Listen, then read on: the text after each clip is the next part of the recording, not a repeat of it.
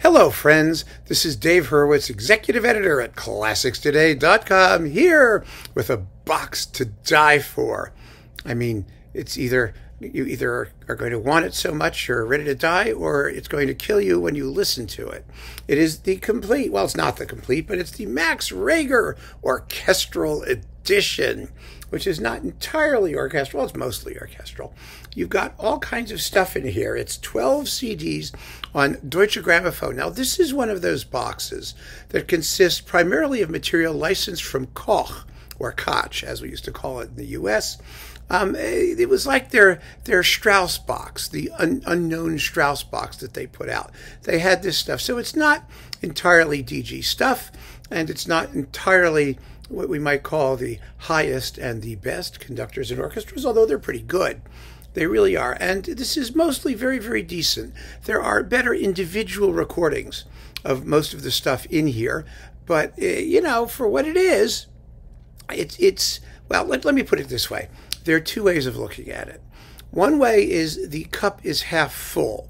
You can say, well, these are thoroughly professional, well recorded performances of a lot of rarely heard music. And that would be very true. Or you can take the position that the cup, cup is half empty and say, well, Reger is a complicated and difficult composer who needs absolutely sterling, astonishing, thrilling, stunning, perfect, exalted standards of conducting and playing in order to present the music at its best because it does not play itself, which means that a lot of this will be a slog. Well, the truth is that both are true depending on on your perspective and your tolerance so let's just go through this and see what's in here and then we can we can take it uh, as it comes and you can make up your mind whether you want it or not it's inexpensive by the way it's like 40 bucks or something or somewhere in there and and it's still around which is like shocking given who who we're dealing with here don't you think so Reger lived from 1873 to 1916. Not too long, but he was unbelievably prolific. He just wrote and wrote and wrote tons of stuff. Unbelievable quantities of stuff. Chamber music, organ music, piano music, and indeed quite a bit of orchestral music, but that was never regarded as his forte. Some of you have pointed out that his best works are chamber works, and that's probably true because when he was dealing with smaller forces, um, the, the, textures would naturally be less thick and clogged. See, the problem with a composer like Reger is that he was basically a contrapuntist. That is, he dealt with simultaneously moving melodic lines.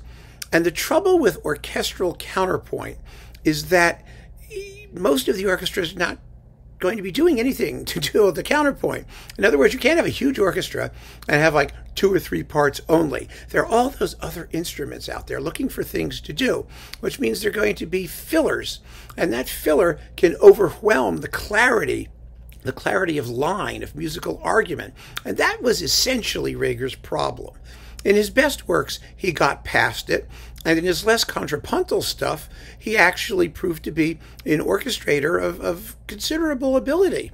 But when he was dealing with his primary interest, which was, you know, contrapuntal writing, he had problems in figuring out what to do with those instruments.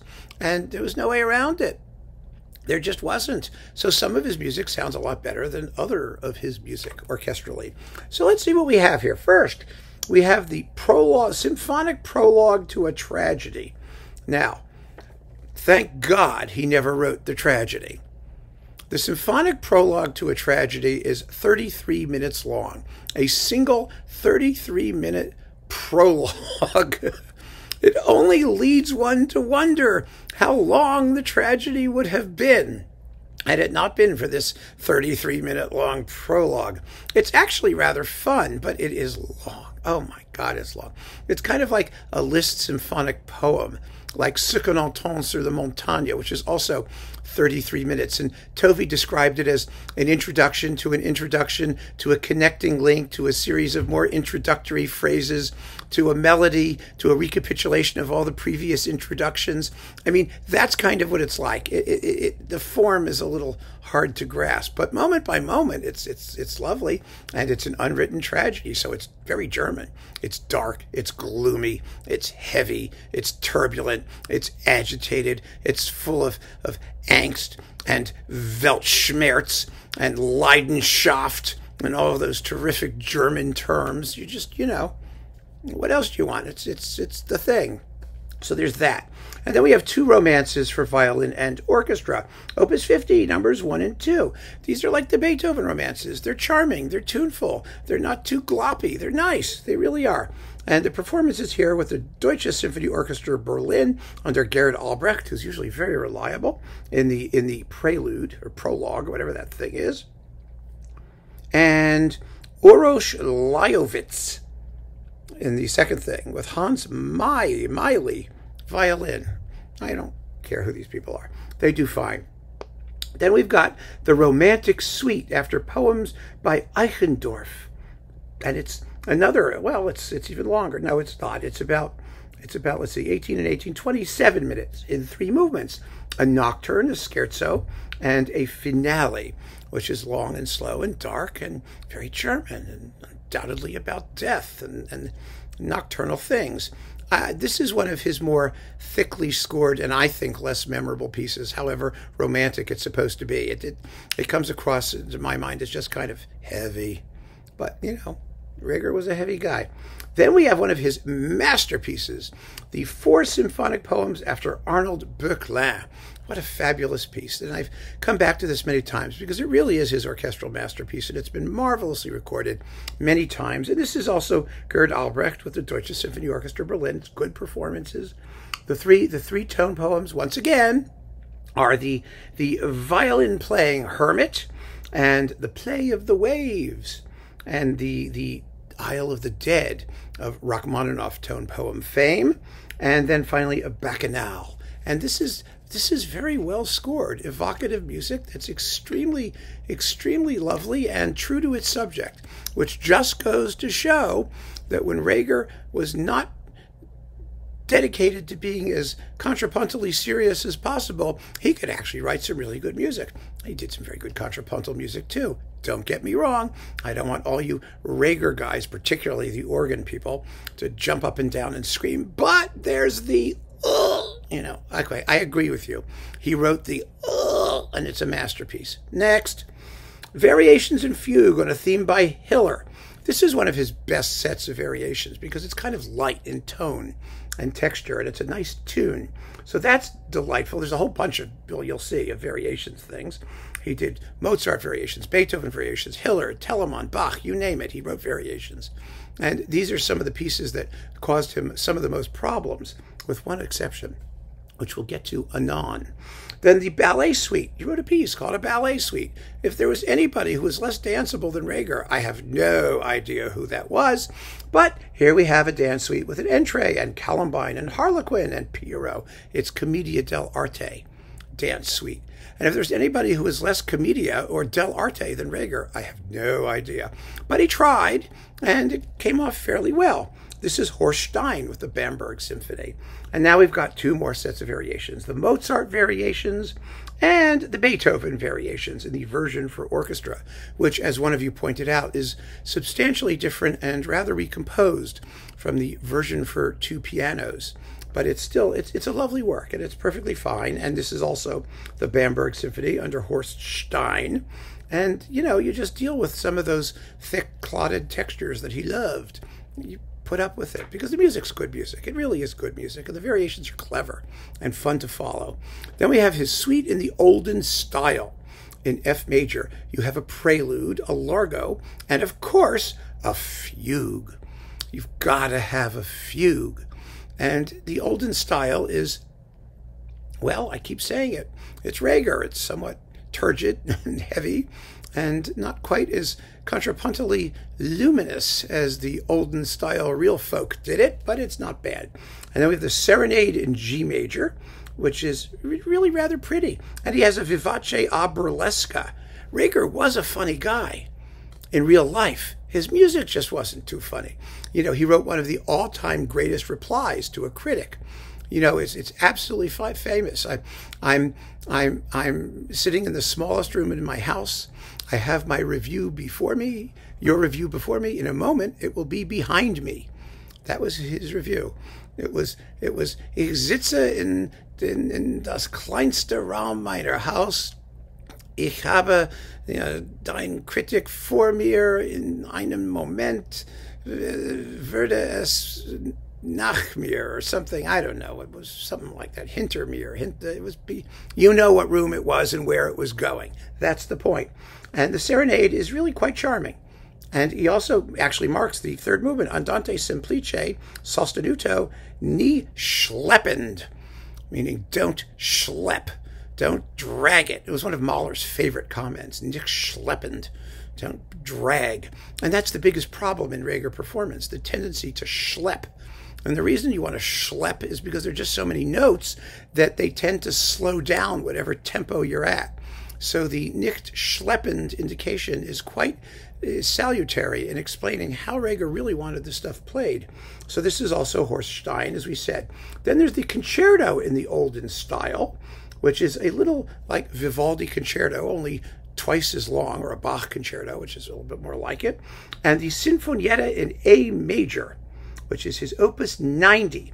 Now, it's very interesting to compare the Sinfonietta with the Serenade, because the Sinfonietta I think, has real problems of orchestration.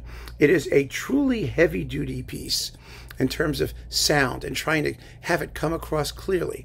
While by the time he got to the Serenade, which is only five opie later, which means he probably wrote it like at lunchtime on the same day that he wrote the Sinfonietta, given how prolific he was, um, he seems to have gotten more the hang of dealing with the orchestra and, and writing with more clarity. And it was only his Opus 90. It only took him that long to get there. But he got there. And then we have, oh, did you know this? This is hilarious. Oh, he, and what's hilarious is the fact that it exists. It's called a comedy overture. Can you believe he wrote a comedy overture? Reger, of all people, a comedy overture? Well, like most of these pieces, it's kind of similar to the, the prologue to an unwritten tragedy except it's a comedy. So, you know, maybe the subtitle would be like Death at the Circus. But it's still, I mean, you know, who, comedy? Who are we kidding? Oh my God. Then there's the Symphonic Rhapsody for Violin and Orchestra, which is 23 minutes of, it's arranged by Florizel von Reuter after Reger's fragment. So whatever the result is, it's not Reger's fault, and that's all you need to know. Then we have the Suite for Violin and Orchestra, in A minor, which is arranged for violin and orchestra by Adalbert Baranski from Reger's Six Vortragsstücke Suite for Violin and Piano. And that's, you know, that's nice. It's cute. It's, it's adorable. And the Scherzino for horn and string orchestra. It's a Scherzino. It's only two minutes and 42 seconds long, and it's very fast. It's marked sehr schnell. And the faster, the better. Now we have CD8, his piano concerto I have to say, I, I, I, did a talk on his piano concerto. You can go look at it. Uh, the two worst German piano concertos ever in the history of humanity, or actually the two worst piano concertos in the history of humanity, which both happen to be German, one of which is Pfitzner, and the other is Reger. Now, it really depends on the performance because Rudolf Serkin managed to get through it. Marc Andre Hamelin managed to get through it. And this recording is with Gerhard Oppitz, and he gets through it. It's not too slow. That's the point, because the first movement here is 18 minutes long. The slow movement, Largo con gran espressione, Reger writes somewhat hopefully, um, is 11 minutes and 44 seconds, but it's the finale that gets you. The finale is, is in this case, 9 minutes and 10 seconds, and that's about right. It should be 8 or 9 minutes. I mean, there was that other recording that's in, you know, there's a Brilliant Classics Weber, I mean, Reger box that has a lot of this same stuff. The Brilliant Classics has the Berlin Classics stuff, and this has the Koch stuff. It's like, you know, the, people were licensing this and, you know, from wherever they could grab it and stuff it in. And that one has the amazing German, German pianist Amadeus Webersinke is his name or something like that. And oh, it takes 12 minutes over the finale. It's just, oh, it's lethal. It's deathly. Oh, it's just awful. But in, in these tempi, the piece stands a chance of not being as bad as it usually sounds. It's not a great work. Let's not kid ourselves. CD9, the violin concerto. Now, the violin concerto is even longer than the piano concerto. It's 54 minutes long in three enormous movements. Here we have Walter Forchert, the intrepid violinist, with the Bamberg Symphony under Horst Stein. And it's a miracle they survive, and it will be a miracle if you survive too. I mean, the piece is just a blasted ordeal. Let's, okay. Then we have this piece called Requiem for alto solo, chorus, and orchestra. It's only 15 minutes long. And then there's a Requiem fragment for four soloists, chorus, orchestra, and organ, where you get the Requiem and Kyrie and the Dies Irae. And those two fragments total 35 minutes. I mean, so even when he's he's doing a fragment, it's a big Gesundta fragment. It's not your little tiny fragmentary fragment. It's a big, hefty chunk of a fragment. And, you know, I, I have no patience for that stuff, but you may. And then there's the Gesang der Verklärten, the chant of the transfigured, which is only 17 minutes and 35 seconds long. I mean, how long does it take you to transfigure? Usually, the shorter amount of time it takes to transfigure, the better off you're going to be, I would think, once you finally get to the transfiguration part. And then we have Die Weihe der Nacht, the consecration of the night, for alto solo, male chorus, and orchestra, and Psalm 100 for chorus, orchestra, and organ, and then the the Weihegesang, the song of consecration. Um, and these are these are occasional pieces. This is all with the Bamberg Symphony under Horst Stein, or the NDR Symphony under Roland Bader. And then we have the Nuns for chorus and orchestra. Now this this sucker is 28 minutes and 45 seconds. And I tried to listen to it several times. I finally did get through it. I really did. And it's about nuns. That's all I know, and uh, I have no desire to know more. And then a bunch of orchestral songs. Actually, the orchestral songs are not bad. Some of them are actually lovely. Most of them are quite brief. I'm looking at these things and I'm seeing two minutes, 37 seconds, one minute, 53 seconds. Oh, thank goodness. Yes, there is, there is a Reger who is terse and concise and pointed. Yes, it exists. He had that gift. He could do it when he wanted to. Actually, he does it quite frequently also in his piano works, many of which are absolutely lovely. We have to talk about that because there's a there's a big set of his complete piano works and it's really good stuff. There's really a lot of good stuff in there. He was a wonderful keyboard keyboard composer. So this may not be the greatest of everything Reger did, but it's a lot of there's a lot of good music. And if you don't take it too seriously and treat it with an open mind, and I mean I know he wanted you to take it too seriously, but th- that doesn't matter. At heart, he was a sweet and happy person. And I think we should keep that in mind when we listen to his music, no matter how relentlessly turgid it becomes. And with that, I leave it to you to decide if this is in your wheelhouse. So keep on listening, friends. Thanks for joining me. Take care.